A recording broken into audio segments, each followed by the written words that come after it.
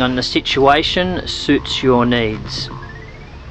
We will now show you the process of installing the FLOWSTOPPER.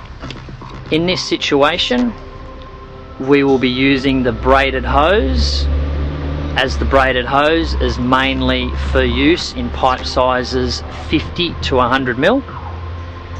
The unbraided hose could also be used if water is flowing from both directions.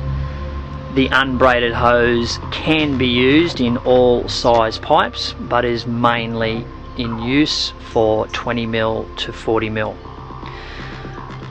We have simply connected the hose to the air valve end of the stainless steel hose and we have the medium sized bladder for 50 mil pipes and we will simply screw this in to the other end of the hose.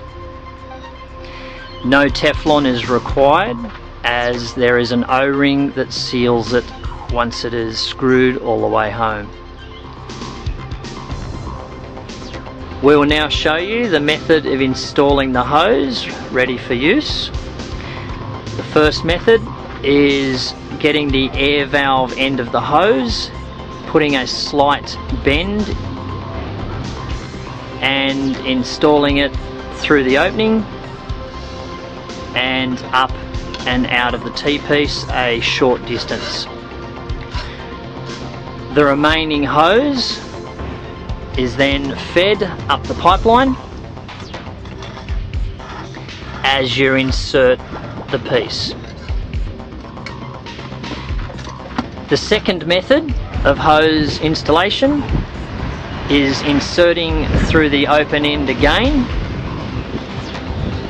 but this time pulling the hose through all the way and just leaving the bladder sitting in the end opening.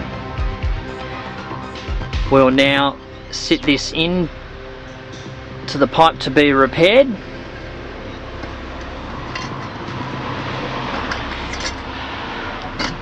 and once the couplings are then installed the hose can then be fed up the line.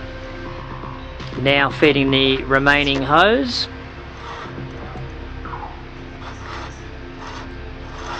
into the pipeline